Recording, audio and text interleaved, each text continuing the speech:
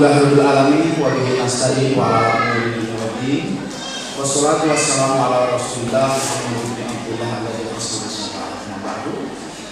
Kami ucapkan selamat datang kepada Bapak dan Ibu para undangan.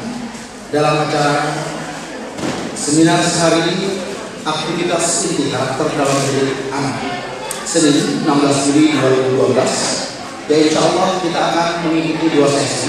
Sesi pertama adalah aktivitas sekolah makan berkarakter insya Allah akan disampaikan oleh Kang Zen. Dan sesi kedua insya Allah pada pukul 12.30 anak berkarakter aset dunia akhirat nanti oleh Ayah Edi Bapak dan Ibu yang berbahagia marilah kita awali acara yang sangat berharga ini untuk anak-anak kita dan tentunya kita tundukkan kepala kita sejenak.